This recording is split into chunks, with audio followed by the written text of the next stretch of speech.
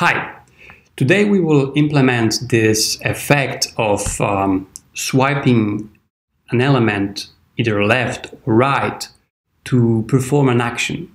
For example, in our case, it would be uh, swiping left to delete a message or um, swiping right to archive it or to do some other actions in the future. So I swipe left, I click delete, and the message uh, disappears from, from the list. So let's see how it's done. One of the reasons why working with Flutter is so enjoyable is that there is a lot of things that are already implemented in Flutter. A lot of widgets that are uh, ready for you to be used.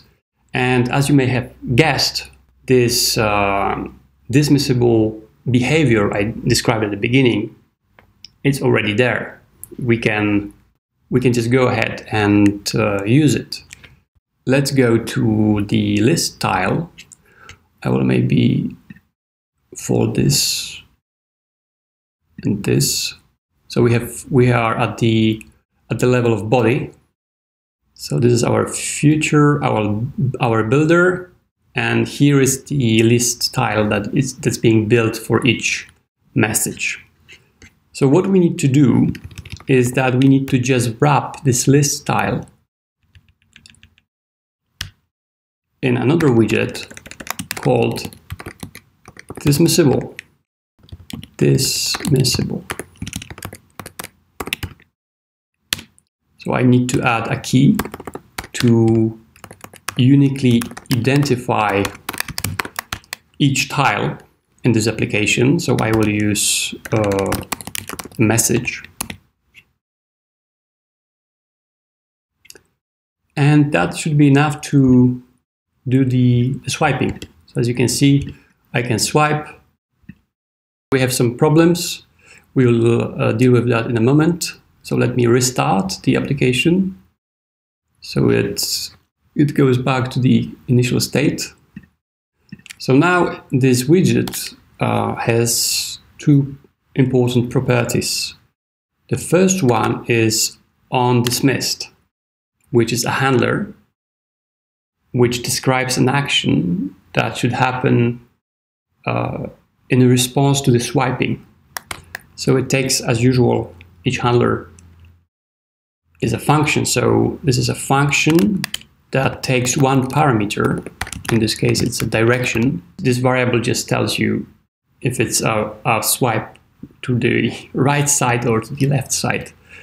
And um, so that's the first property. And the second one is background. So for starters, let's just use container color and let's use a color like that. So now when I swipe, it's uh, red. I can swipe both directions. So here, let's print direction to the, the back console.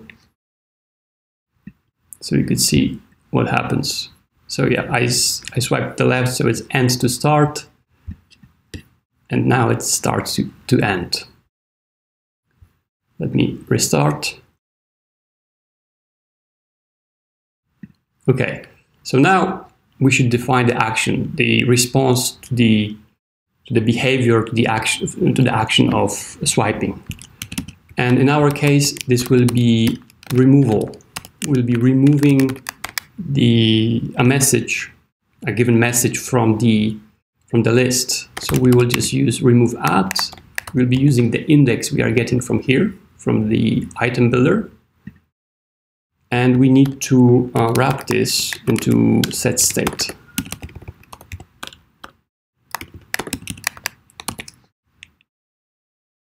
Okay, let's see if it works. Yeah, so it works. So now when I refresh, it fetches the, the data again.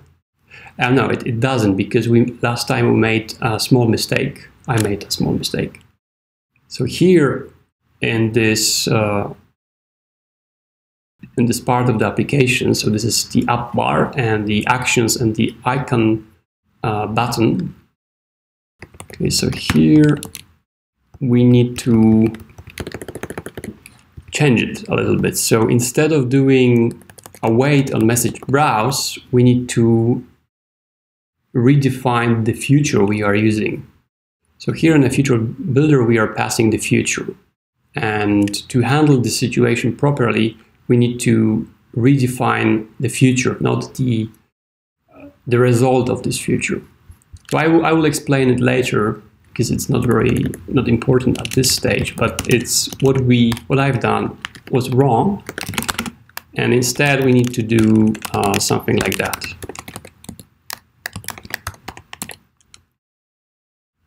Okay, so now if I refresh, I should have the list, uh, the, the initial list uh, fetched again. And now I can remove,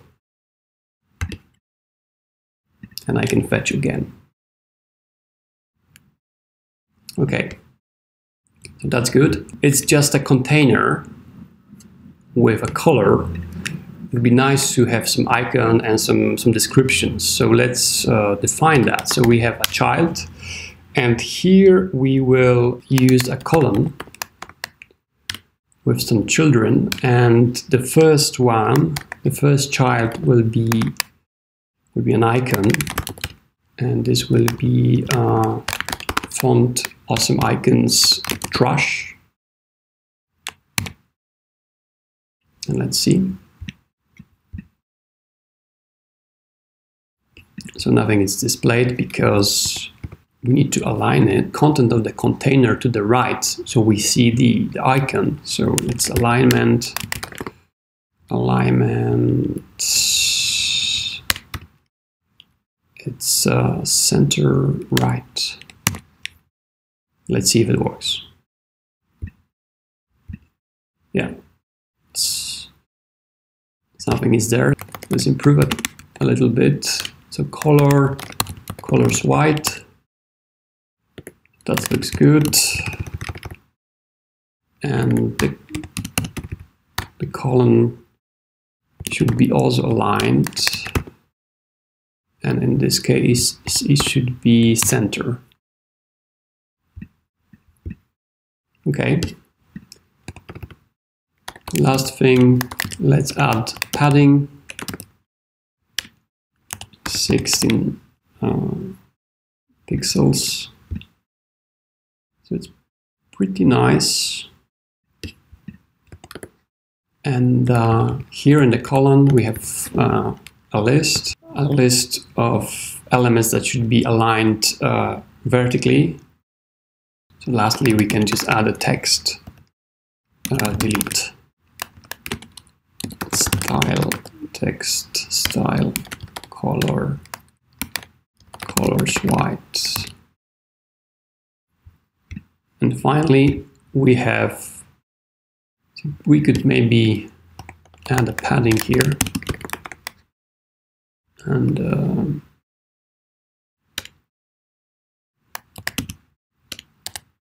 let's say four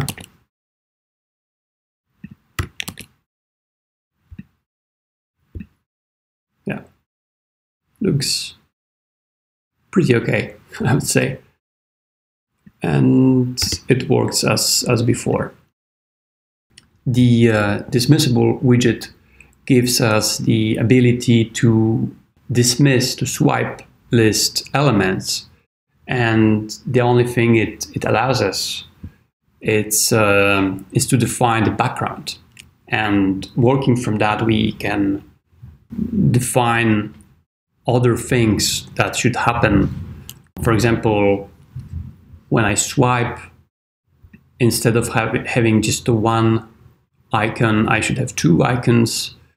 So this becomes a little bit more tricky uh, because you have to find a way to represent that in a, uh, using the background. So if you need just a simple functionality of swiping and just displaying something in the background, it's relatively easy. But if you need uh, some more elaborated functionality, you will end up uh, building your own widget. But lucky enough, other people already done that. If you search for uh, this kind of behavior in Flutter, you will stumble upon this nice package called Flutter Slidable by um, and it's pretty it's pretty comprehensive. So we instead of defining our own widget and thinking about all the edge cases and all the animations, we will use this library to have those features out of the box. We will build on top of, of this uh, library. As you see, Romain did a, a, really great job. So I encourage you to start the repository and uh, maybe follow Romain. Let's go ahead and, and add this. So you, you should know, by now you should know the drill. The first step is to add the, the package to our uh, pub spec. So I'm going to the pub spec and I'm just adding the, the package here. Once I save, VS Code automatically fetches that package for me. And now I need to import it. So here we will add it at the top. Romain gives us the um, a snippet which shows the, the basic usage of this uh, library. So it's very similar, similar to dismissible widget. We need to wrap the list tile inside this, this widget, which is called slidable. Slidable. So let's go ahead and do that. Here we will just replace dismissible with slide slidable. So let's remove this we don't need background anymore. So we need to define the delegate, which is the way how the uh, sliding should behave. Let's copy this. And now the actions. So I will copy all four actions here and we need to place them, let's say, here. So instead of using this uh, show snack bar function, we will just use empty handlers for now.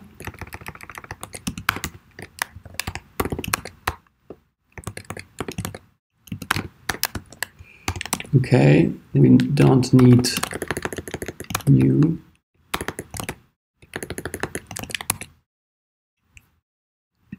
okay looks pretty good. So now if I swipe as you can see it works right away. But whenever I, I click nothing happens because I removed those um, actions those handlers here.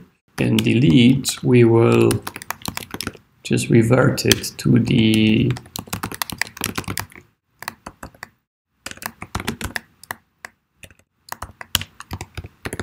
uh, the action we had before, which is messages remove at and index. Whenever I click, the message, oops, the message disappears. In uh, future episodes, we will implement the, the other actions. But for today, that's all. And see you next time.